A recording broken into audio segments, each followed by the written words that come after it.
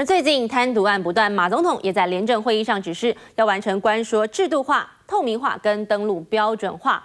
法务部今天也公布了相关规范，希望不管是人性本善还是本恶，把官说或是关心尽量厘清，未来被请托者要在三天内进行登录。只是一个简单的选民服务案。林氏贪污弊案凸显贪渎情势，往往由官说而来。保部订立作业要点，将请托官说制度化、透明化和登录标准化。一旦公务员认为官说有违法疑虑，就应登录。是很多贪渎不法是从请托官说来的。因应目前的情势，我们希望说请托官说能够把它台面化。如果将来抽查的结果发现说隐匿不报，那就会有一个惩处的机制存在。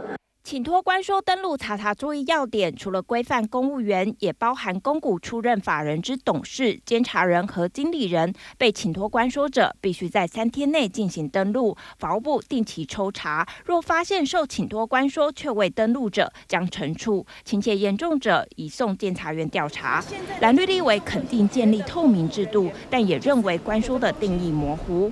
官说的定义到底在哪里？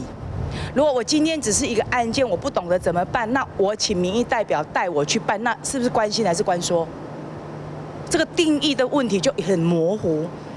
登录某种程度上是好的，但是问题是，如果有很多心不轨、不愿意登录的人，我们有没有其他的法则？我想可能都比这个登录效果更好。登录标准化正式上路，但作为要点只是行政规则，不具法律效力。官说文化能否真正浮上台面，杜绝不法，仍有待实践观察。UDN TV 蔡清颖、李黄轩台北报道。